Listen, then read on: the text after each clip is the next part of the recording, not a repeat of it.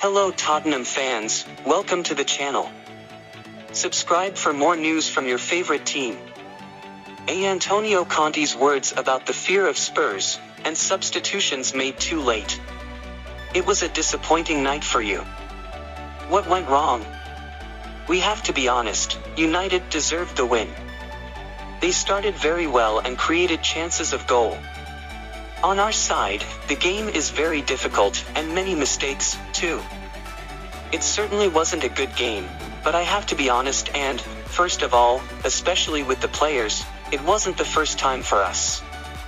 Although the table is good, but we always play a high-level game. We fought Chelsea tied for 92 minutes, but Chelsea dominated the game, and with Arsenal we lost, and today against United we lost. This means that we have to keep working to try to improve. Sometimes I hear that we are candidates for the title and I think we need time. In just 10 or 11 months, you cannot go from 9th place to become the title candidate a year later, especially when you finish 20 points less than England's monsters.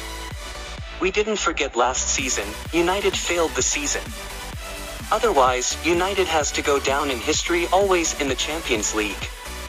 On our side, I repeat, we need to be disappointed because you can lose, you can lose this type of game. But at the same time, we have to show a lot more because I think we can do a lot better than today. You know that in this type of game I think you need to arrive and not make big mistakes and you need to arrive with a lot of concentration and a lot of focus ready. You need to come up with a war within you, a sports war. You need to arrive like this with the war inside you, ready to fight a war, and you have to know that at the end of the game, you die or your opponent dies. I think that today, from the beginning, not much in that respect. We can improve, we need to keep working and, for sure, the club also analyzes very well why when we play this type of game in which the level is very high, we are having difficulties.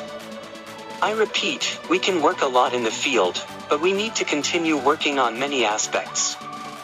Today's substitutions with injured Richarlison and Kulusevski were very difficult to try to change the game too because Lucas Moura, you know very well, is recovering from a tendon injury. We are trying to keep you in balance and, for that reason, we are also going during training to bring you into the best physical condition, but not to pressure him too much because he took a risk two weeks ago to restrain himself.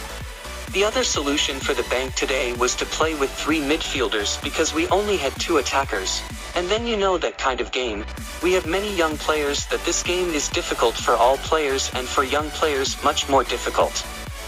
Thanks for watching. Leave your opinion in the comments until the next Spurs news.